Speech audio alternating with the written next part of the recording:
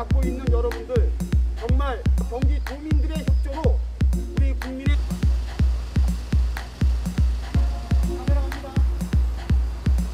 그런데 윤미향은 그 수장으로 있던 그 시절에 지금 정대협과 정의기억 연대가 지금 우리 국민들로부터 어떠한 지탄의 대상인 것을 본인은 분명히 본인은 각성하고 뉘우쳐야 함에도 불구하고 전혀 회개하거나 뉘우치는 면이 안 보인다는 사실입니다. 우리는 이번 기자회견을 통해서 끝까지 지치지 않고 윤미향과 같은 권력형 범죄에 대해서 끝까지 발본색원해 나갈 것입니다. 지금도 여러분들이 확인하는 대로 뜻이 달라서 지금 똑같이 해석했습니다.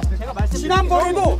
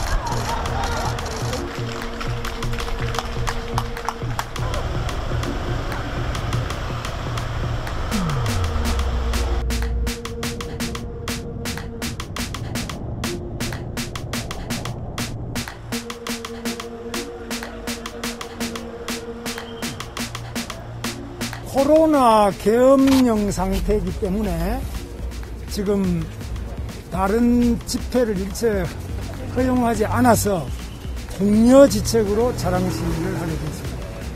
그래서 차량 시위도 이렇게 제한이 워낙 많아서 사실 시위라고 하기보다는 아주 고행이 되고 있습니다. 제가 판단할 때는 제 인생에 최고의 계엄령 상태 같습니다.